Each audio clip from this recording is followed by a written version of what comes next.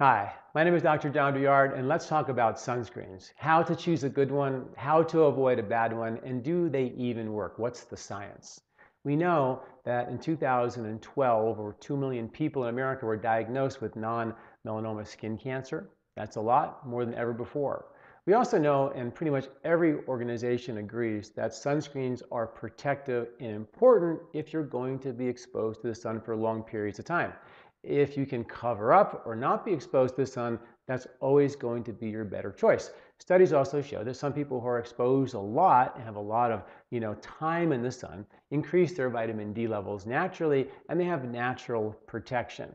However, most of us don't get a lot of exposure. We're in offices, uh, we have winters to deal with, and we go in and we get a lot of sun all at once and it can damage the skin and predispose us to UV ray damage to the skin, which puts us at risk. So we now know that it's very important for us to protect against this, the damaging rays of the sun. Five to 10 minutes of direct sunlight in the summertime gives you the vitamin D that you need. In the winter, the sun is too low in the sky to give us UVB radiation, so you probably do need some sort of supplement to support your vitamin D levels in that regard. Now, how to choose a good sunscreen. Well, the old-fashioned zinc oxide, which is the white stuff that was on the lifeguard's nose, which doesn't blend in that well, is still the all-time favorite and the safest of all. There's another chemical ingredient called avobenzone, which is also safe. And those are the two ingredients you want to look for in a good sunscreen. Uh, if you're not too concerned about the white, you can buy a tube of zinc oxide for $1.50 in your grocery store in the diaper rash section. Mix it with your favorite lotion and you have a sunscreen. You can get very, very fancy and get zinc oxides mixed with other natural chemicals and agents that are still okay. The ones that you want to avoid are the oxybenzone. That's the one you want to avoid. Uh, the retinol palmitate you want to avoid. You want to avoid sunscreens with high SPF factors because the FPS factor is only a measure of how well it blocks the UVB rays. Well, the UVB rays are the ones that actually make vitamin D, and that SPF factor for 70 or 100 tells you nothing about how well it blocks the UVA, which is actually the, the skin, cause, skin cancer causing ray.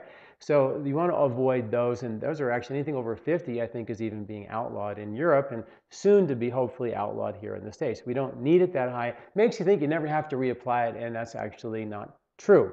Uh, com combination sunscreens with, with bug killers, uh, again, um, they are not good. It actually just increases the rate of absorption of both the sunscreen and the, the bug killer, which we don't really want.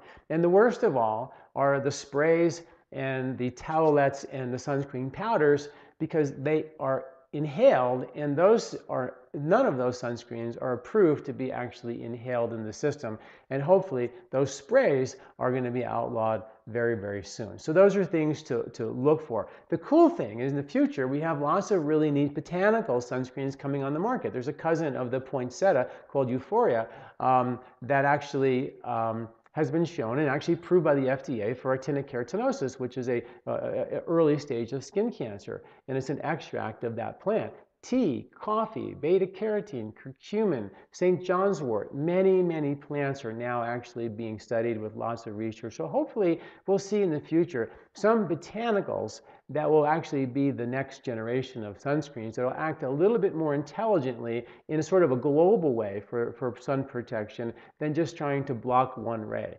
Uh, again, in, in an Ayurvedic logical you know, process, you think it can't be just blocking one thing. We've tried that and it hasn't really worked. There must be something else. And herbs seem to do so many things. Their constituents are so vast. And many of the herbs that we think that we know so much about, we know very little about. Coffee, for example, has over 300 constituents in it. We don't know much about uh, 90% of them but we still, we still see the benefits. So I believe that the more we can use botanicals to protect our skin in this way, of course using you know, intelligent exposure, will, it will ultimately make the most sense. We're clearly not there yet, but uh, hopefully that'll be the next generation. We'll see them coming soon. But at least for now, you have some strategies to pick a good, healthy sunscreen and definitely what to avoid. And please, the science is pretty conclusive that at the very, at the very least, your sunscreens are going to protect you from squamous cell carcinoma and skin damage, which makes you age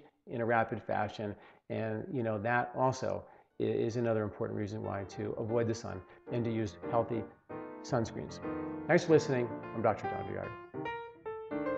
This recording is brought to you by LifeSpa, where ancient Ayurvedic wisdom meets modern science. Get access to free health video newsletters by Dr. John at lifespa.com. These statements have not been evaluated by the FDA. These products are not intended to diagnose, treat, cure, or prevent any disease.